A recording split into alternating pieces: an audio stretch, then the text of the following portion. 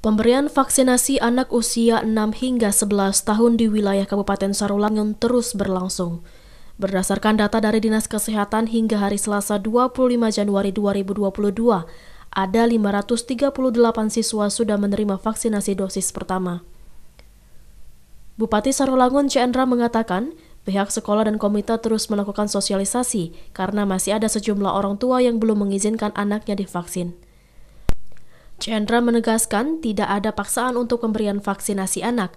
Anak divaksin pun ada persetujuan dari orang tua dengan surat pernyataan bersedia divaksin yang dikeluarkan oleh sekolah. Selain itu, saat dilakukan vaksinasi, orang tua wajib mendampingi anaknya. Sekarang juga di Jakarta sudah meningkat, Omikron kita sudah mulai naik. Nah, kita berjaga agar vaksin lah, kita perkuat daya tahan tubuh lah sekarang. Kemarin ada beberapa memang ada orang tua yang keberatan, yang untuk sementara kita tidak akan memaksa, tapi yang mau sudah kita masukkan ke sekolah-sekolahan, yang mau dulu. Nanti yang lain ini menyusul dengan sosialisasi kita untuk meyakini para orang tua agar semua anak-anak bisa divaksin.